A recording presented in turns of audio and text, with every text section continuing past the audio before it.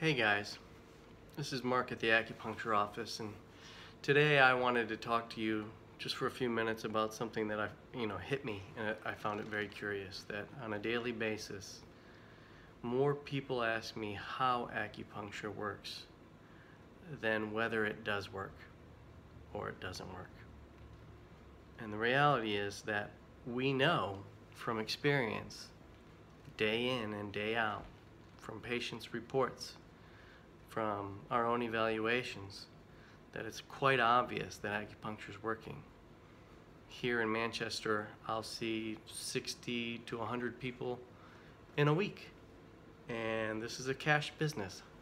Granted, I don't charge a lot. I have a sliding scale from 20 to $50. But people have to pay me. And they have to come oftentimes five, six, seven times, maybe even more. But when they come in that first time, that's when I show them that it works. They feel a difference 90% of the time right away. And in the other 10%, if it takes two or three treatments to show them, look, you're feeling better, well, that's okay. Because that could cost you 60 bucks. You know, a lot less than your insurance pays for a steroid injection.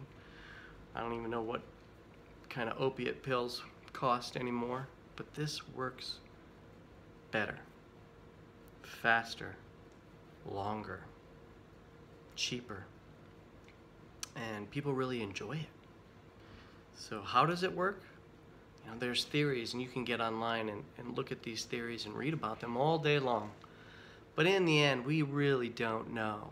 We know that we have a complex brain, that we stimulate it with certain pressure points that we apply needles to causes the brain to react but we are able to make it react in a very specific way for pain in very specific areas very quickly. And nobody's figured out exactly how that works. I as a practitioner am more concerned with whether I can make you feel better than whether I can explain why you're feeling better. It, don't get me wrong it'd be wonderful if I could say, oh, let me tell you how it works.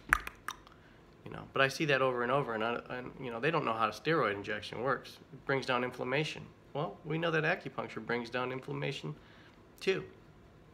Exactly why? You know, we're not sure. Because the human body is complex.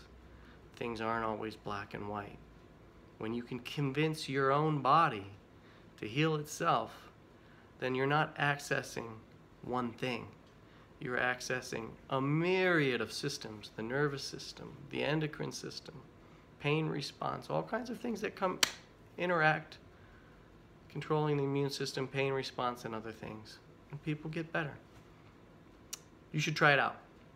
If you're suffering from pain, if you have a chronic problem, uh, it's not expensive, it's 20 to $50.